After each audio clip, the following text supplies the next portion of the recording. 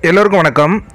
ஒரு படத்தில் வந்து சூரி சொல்லுவார் அந்த கருப்பை ரொம்ப குசும்புக்காரன் அப்படிங்கிற மாதிரி சொல்லுவார். அதேமாரி பிக் பாஸும் ரொம்ப குசும்பு பிடிச்சவராக தான் இருக்கார். ஏன் அப்படின்னா இவரே ஒரு காதல் கதைகளை உருவாக்கி இவரே முடியும் போது அதுக்கு முடிவுரையும் எழுதுறாரு ரொம்ப கிளவராக என்ன அப்படின்னா இந்த ஷாரிக் ஐஸ்வர்யா இவங்க காதல் கதையை உருவாக்குனது யாருன்னா பிக் பாஸ் தான். ஏன்னா யாரு கூட உங்களுக்கு டேட்டிங் போக விருப்பமாக இருக்குது அப்படின்னு ஷாரிக்கை கேட்க அவங்கள பார்த்து இந்த வீட்டில் யார் அழகான ஹேர் ஸ்டைல் வச்சுருக்காங்க அப்படின்னு சொல்லி ரெண்டு பேருக்கும் ஒரு கனெக்ஷனை உருவாக்குனாரு. நேத்தி அதுக்கு ஒரு முடிவுரை எழுதி வச்சார்.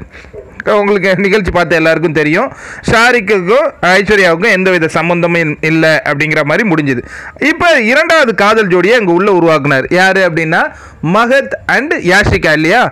இப்போ அது உருவாக்கி அது அவர் கொஞ்சம் என்னது நிகழ்ச்சியை கவனம் இருக்கிற மாதிரி சில விஷயங்கள் லாபம் அடைஞ்சிக்கிட்டாரு பிக் பாஸ். இப்போ என்ன ஆச்சுன்னா அதுக்கு ஒரு முடிவுரை எழுதுறதுக்காக இன்னைக்கு யாஷிகா மூலமாக முடிவுரை எழுதுறாங்க. அது எப்படி எழுதுறாங்க அப்படின்னு பார்த்தீங்கன்னா உள்ளே வந்தாங்க இல்லையா யாஷிகா?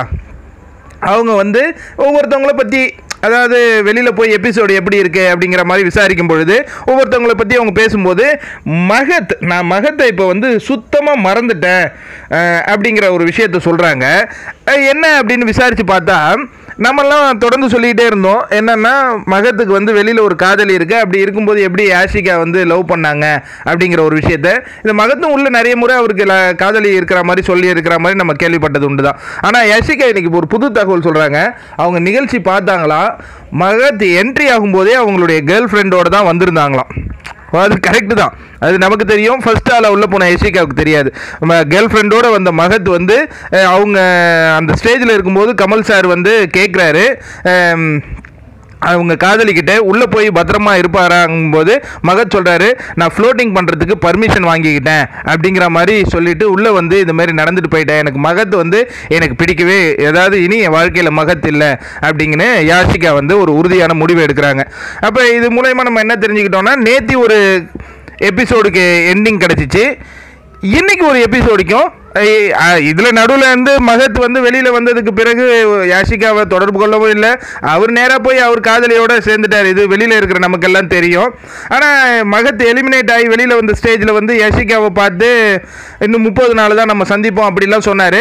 ஆனால் யஷிகா வெளியில் வந்ததுக்கப்புறம் மகத்துக்கும் யஷிகாவுக்கும் பெரிய தொடர்பு இருக்கிற மாதிரி தெரியல. பட் யஷிகா மனசில் ஒரு விஷயங்கள் ஓடிட்டு இருக்கிறதும் அவங்க இப்போ எபிசோட் பார்த்து அதை கிளியர் பண்ணிக்கிட்டாங்களாம். அதனால் மகத்தை அவங்க மறந்துட்டேன். மகத் வந்து என் லைஃப்ல இல்லை அப்படிங்கிற மாதிரி ஒரு விஷயம் சொல்கிறாங்க உடனே ஐஸ்வர்யா பாருங்க அவங்களுக்கு வந்து எப் தான் ஒரு பெரிய அழகின் நினப்பு போல இருக்குது மனசுக்குள்ளே. ஏன்னா நேற்று எபிசோட் கிளியராக பார்த்தவங்களுக்குலாம் தெரியும் எனக்கு நிறைய ஃபேன்ஸ் இருக்காங்களா? அதுவும் ஆண் ஃபேன்ஸ் இருக்காங்களா? அப்படிங்கிற மாதிரி கேட்டாங்க. நித்யா வந்து அவங்ககிட்ட உனக்கு அங்கிள்ஸ் தான் ஃபேன்ஸாக இருக்காங்க அப்படிங்கிற மாதிரி சொன்னாங்க. இன்றைக்கி யஷிகா கிட்டையும் கேட்குறாங்க மகத்துடைய கேர்ள் ஃப்ரெண்ட் வந்து என்னை விட அழகாக இருக்காங்களா? அப்படின்னு சொல்லிட்டு. ஐஸ்வர்யா பெரிய அழகின்னு மனசுக்குள்ளே நினச்சிக்கிட்டு இருக்காங்க போல இருக்குது தன்னை. அதே மாதிரி தான் பகிர்ந்துக்கிறாங்க. இது இந்த நிகழ்ச்சியை பொறுத்த வரைக்கும் இனி எபிசோட் பொறுத்த வரைக்கும் பெரிய அளவில் ஒன்றும் சொல்கிற அளவில் இருக்காது. என்னென்னா எனக்கு தெரிஞ்சு விஜயலட்சுமிக்கோ ஜனனிக்கோ ஏதாவது ஏவி போடுவாங்க. அதுக்கடுத்து இவங்க கொஞ்சம் ப்ரோக்ராம்லாம் பண்ண போகிறாங்க டான்ஸ் பார்ட்டி டாஸ்க்கை பற்றி எப்படி டிஸ்கஸ் பண்ண போகிறது இந்த அளவில் தான் இன்னி பிக் பாஸ் போக போகுது. நம்ம திருப்பி சொல்கிற மாதிரி தான். லாஸ்ட் வீக் வந்து கரெக்டாக எக்ஸிக்யூட் பண்ணுறதுக்கு அவங்களுக்கு முடியல. அதனால தான் ஒவ்வொருத்தங்களே ரெண்டு ரெண்டு பேரையாக கூட்டிகிட்டு வந்து நகர்த்துற மாதிரி தெரியுது. ஆஸ் யூஷுவல் எல்லாரையும் பார்த்த உடனே எல்லாரும் கத்தி சி- வரவேற்பு கொடுத்து கட்டி பிடிச்சிக்கிட்டு நிகழ்ச்சியை கொண்டு போவாங்க. அதான் இந்த நிகழ்ச்சியை பொறுத்த வரைக்கும் இது வந்து மிட் நைட் மசாலாவில் தான் வந்தது. நிகழ்ச்சியில் வருமா என்னன்னு தெரியல. பார்ப்போம். நன்றி.